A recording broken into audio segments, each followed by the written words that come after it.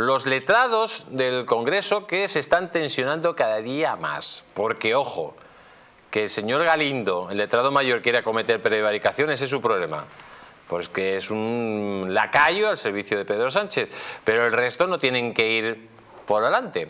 Atención a la noticia que dice que el pleito con el Senado por la amnistía tensiona a letrados del Congreso. Los letrados del Congreso y Senado, que forman parte de un mismo cuerpo de funcionarios con mucho prestigio, es una de las carreras de más difícil acceso, han adquirido un gran protagonismo en los últimos meses por su pronunciamiento sobre la amnistía, aunque sus informes no son vinculantes y eso ha permitido que eh, el Partido Socialista Obrero Español los haya desoído pese a que siempre se respetaban. En cambio, la palabra de los letrados sí va a ser vinculante en el pleito que se avecina entre el Congreso y el Senado ante el Tribunal Constitucional por la amnistía, ya que tienen un papel trascendental en la defensa de cada uno de los órganos constitucionales que hay en liza. En este sentido, según ha podido saber la razón, hay nervios e incluso algunos letrados del Congreso han amagado con presentar su renuncia en puestos clave para evitar quedar salpicados por la amnistía.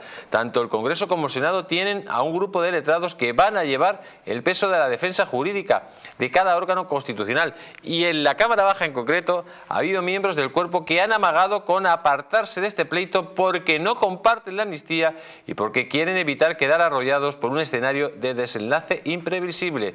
Los letrados, como expertos en derecho, no son nada ajenos al debate jurídico que hay en torno a la amnistía y la gran mayoría de ellos son conscientes de que es muy mayoritario el número de juristas con prestigio que se ha situado en contra de la medida de gracia. Si es que es evidente.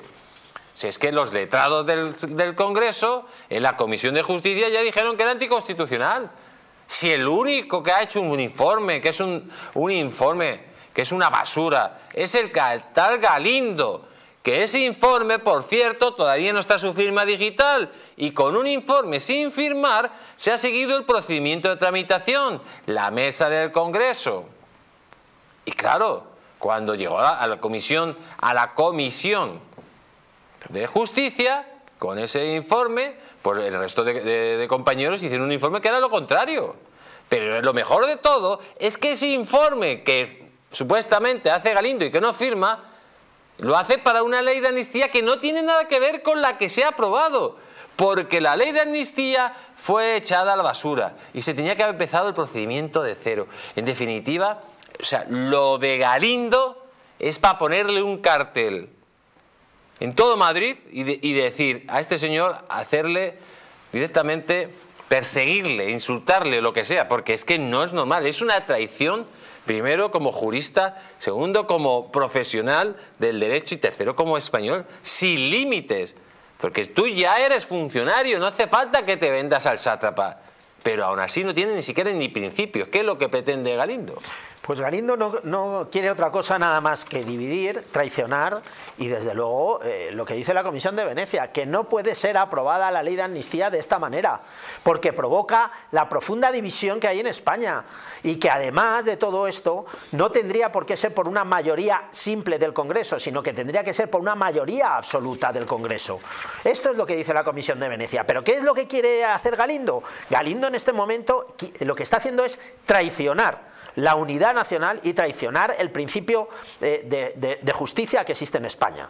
Ese es el verdadero problema, porque evidentemente el resto, el, resto de letrados del Congreso y del Senado... ¿Qué tendrían que hacer el resto de letrados cuando vayan al Tribunal Constitucional a defender esa basura de amnistía. ¿Podrían directamente decir que ellos no firman un informe defendiéndolo? Claro, ¿no? Y además pedir el amparo, el amparo directamente por la ilegalidad que se está cometiendo. O sea, lo podrían hacer directamente ellos sin tener en cuenta a Galindo. Eh, vamos a ver, entraríamos en un conflicto muy gordo.